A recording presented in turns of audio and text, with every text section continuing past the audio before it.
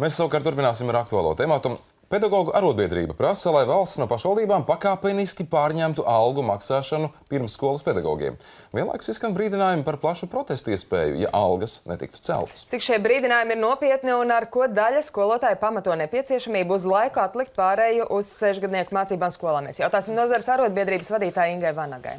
Labrīt! Labrīt! Labrīt. Mm. Jūs esat aicinājuši uz diezgan tādu aktīvu rīcību, gan skolotājs, gan vecāks iesaistīties vēsturi un parakstu vākšanas kampaņā, sūtīt ministriem, frakcijām un tā tālāk. Turpat tāds teksts arī konkrēts pieejams. Stāsts ir par izdienas pensiju likumu un arī darba samaksu no valsts budžeta pirmsskolām un speciālā izglītībā. Kāpēc tā kampaņveidīgi? Jautājums ir nobriedis līdz tādai kritiskai fāzē, jūs ieskatāt? Šie jautājumi jau bija aktualizēti jau, tas ir vairāku desmit gadu garumā vairāk kā desmit gadu garumā. Un, uh, par šo ir runāts arī gan ar politiķiem, izpildvaras pārstāvjiem, lēmējvaras pārstāvjiem jau pat pirms 12. saimas vēlēšanām. Šādi punkti ir iekļauti ar katru saimā pārstāvošo frakciju sadarbības līgumā ar viņiem starp arotbiedrību un nu, šo politisko spēku. Un mēs šo nu, gadu laikā, kop, nu, kopš ievēlēta 12. saima, mēs esam regulāri atgādinājuši par šiem punktiem. Bet, kā redzam, dzirdīgas ausis mēs neesam sagaidījuši. Un, Un tas, ko padome, Līsda padome lēma martā, ka mēs nu, vēlreiz aicinām politiķus izrunāt, meklēt kompromisus, ja, jo solīts bija un, un, un, un šie solījumi, diemžēl, netiek pildīti. Tad es neliekšos, ka jā, mēs izvērtējām, ka nu, tā bija tāda zināma, var teikt, maldināšana, tāda balsu zvejošana pirms 12. saimnes vēlēšanām un šo problēmu jautājumu nerisināšana. Ar mums neviens netikās. Nu, un, ja netiekās, tad mēs izmantojam nākamo soli. Mēs jā, organizējam šo parakstu vākšanas kampaņu, lai nozarē strādājošie un tie, kas atbalsta ja, viņus, lai šādā veidā liktu ieklausīties, sadzirdēt un arī meklēt kādus risinājumus. Un, ja nesadzirdēs, tad nākamais solis, par ko jau mēs esam lēmuši, tad arī tiešām šīs protesta akcijas. Jūs sakat, arī jums neviens netikās. Tas ir tā, ka vispār nav tikšanās bijušas, vai nav bijušas tik daudz, kā jūs esat prasījuši, vai kāda Kāda īstenībā? Mēs par šo esam informējuši gan ministriju pārstāvis, gan arī sājums frakcijas, un tas ir bijis kādu laiku krietni atpakaļ. Ja? Bet mēs lūdzām rast iespēju aprīļa mēnesī, lai pārunātu tiešām, ko vēl varam lietas, lietas labā darīt. Nu, un pat nebija tikšanās. Ja, ja tu tiecies, izrunā, saproti, varbūt kādu pārejas periodu, varbūt par kaut kādu termiņu var runāt vai par citiem risinājumiem. Bet ja šī nav, tad katrā ziņā nu, nu, īpaši šie divi jautājumi, tie tiešām ir ļoti akūti un problemātiski nozarē strādājušiem. Šī nevienlīdzība pret pirmskolas pedagogiem un šīs izdienas pensijas trijām pedagoģu grupām, bet pie nosacījuma nosacījumu, ka viņam ir 60 plus gadi, un viņš pusi no savas dzīves, 30 gadus nostrādājis šajās nu, mm. pirmsskolā vai speciālās izglītības vai sporta jomā. Jā, nu par pirmsskolas izglītības iestāžu pedagoģu darba samaksu tad arī parunāsim. Tātad mudinat pakāpeniski nodrošināt no valsts budžeta. Vai tas nozīmē, ka automātiski šīs algas tiktu celtas, ja tās būtu no valsts budžeta? Šeit būtiskākais ir, eh, ka pirmskolas pedagogiem šobrīd spēkā esošie normatīvie akti nosaka virkni nevienlīdzības principus, bet viņš ir tieši tāds pats pedagogs kā pārējie kolēģi. Viņam ir jāstrādā vairāk nekā pārējiem kolēģiem, un normatīvais akts paredz viņam saņemt mazāku algu par, nu, par lielāku darba apjomu. Tā vienkārši. Ja? Bet šīs normas nav precizējamas vai novēršamas, nemainot tieši... Uh, algas izmaksas savotu. Tā teikt, tā tas būtu jāpārceļ uz valsts. Tas ir risinājumi var būt dažādi. Tāpēc mēs arī uzskat, nu, nu, lūdzām rast iespēju tikties, lai pārunātu, kādi ir šie risinājumi. Vai tur ir kāds pakāpeniskuma moments, vai tas ir uz pašvaldību pleciem, vai tas ir uz valsts budžeta pleciem. Jo visiem pārējiem pedagogiem algas maksā no valsts budžeta, izņemot pirmskolas pedagogus. Agrāk ir bijis arī tā, ka pe pirmskolas pedagogiem maksā no valsts budžeta.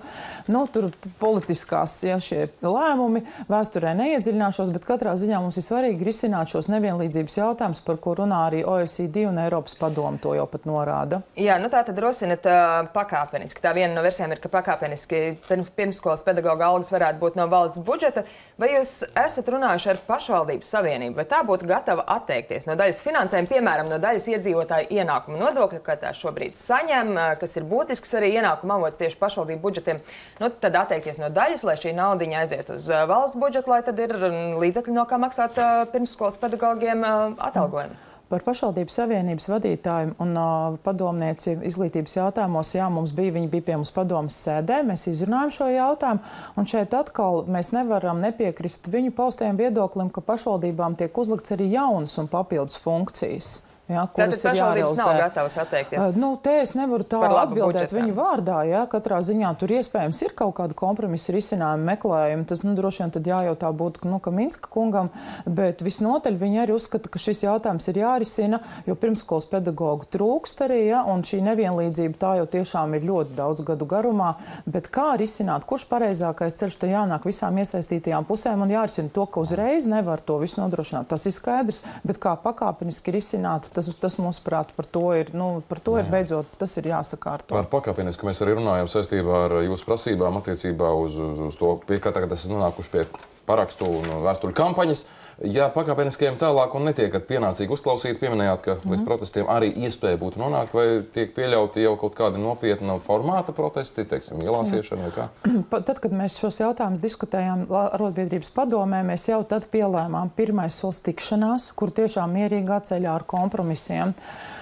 Izrunājam. Ja tas nav, tad mēs šo parakstu kampaņu rīkojam. Ja parakstu kampaņa nenostrādā, tad ir pikets. Un, ja pikets nenostrādā, tad atvainojiet, mēs izvēršam kampaņu nebalsot par tiem, kas pat nav gatavi apsēsties pie viena galda un risināt, kā pakāpeniski un kādā laika ietvarā. Mēs taču neprasam... lielais fokus būtu līdzvēlēšanām. Visu, visu jā, šo jā, nelieksimies, kad mēs tiešām, jo pirms vēlēšanām šie bija politiķu solījumi, un ja mēs trīs ap pusgadu garumā nevaram tiešām rast risinājumus, nu, tad mēs par to atgādinam pirms nākamajām vēlēšanām. Tad varbūt arī daļa padomās par to, ko, nu, kāpēc nesolīt, ja var solīt. Tad Jā, nu vēl, vēlamies pajautāt arī par pedagoģu atalgojumu. Mm. Premjeras Mārs Kučinskis ir paudis atbalstu par straujāku algu celšanu skolotājiem pašvaldībās ar sakārtotu skolu tīklu. Jo šobrīd tas ir ļoti arī aktuāls temats.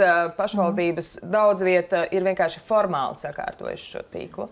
Nav ietaupījums panākt tas, kas bija cerēts. Un to jau mēs uzreiz teicām, ka uz skolu tīkla sakārtošanu būtiski ietaupījumi nebūs. Mēs arī norādījām, ka nevar tik brutāli, un turklāt arī starptautiskās institūcijas norāda, ka skolu tīklu optimizēt nevar tikai balstoties uz fiskāliem rādītājiem. Ir jāņem vērā sociāla-ekonomiskie rādītāji. To, ka dot nav algas paaugstinājumu tur, kur pašvaldības ir pieņēmušas lēmumus, kurš šeit vainīgs pedagogs. Es ceru, ka viņi neattīstīs to ideju, ka varbūt mēs minimālo darbu samaksu valstī noteiksim arī atšķirīgu, nu, kur iedzīvotāji vairāk vai mazāk. Es tagad ironizēju. Tad jūs nostājat, ka celt visās pašvaldībās nesasaistot ar skolu mēs, mēs neesam redzējuši šos aprēķinus, mums tos neviens nav iedevis šo informatīvā ziņojuma projektu, bet pedagogs nav vainīgs, viņš nevar ietekmēt šos procesus, viņš nevar ietekmēt uh, to, ka tur izbrauc no pašvaldības iedzīvotāju bērnu skaits samazinās.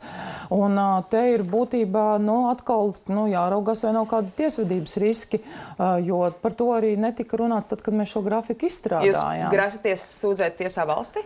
Nē, mēs, ne, mēs negrasamies šobrīd sūdzēt tiesā valsti tam dēļ, ka mēs neesam redzējuši šos projekta versiju ar trīs, nu mēs tikai no masu mēdījiem esam dzirdējuši šos trīs scenārijus, bet katrā ziņā tas viens no scenārijiem, ka paaugstināt algas tur, kur ir pieņemts lēmums ja, par skolas, skolas slēgšanu vai reorganizēšanu, tur pedagogs šos procesus ietekmēt nevar, un nu, tas, Jā, tas nu, ir nekorekti. Tas vēl ir jautājums, protams, kas arī pēc plašas diskusijas prasās. Pavisam īsi noslēgumā novēlējums pirms eksāmena laikā skolēniem un skolotājiem?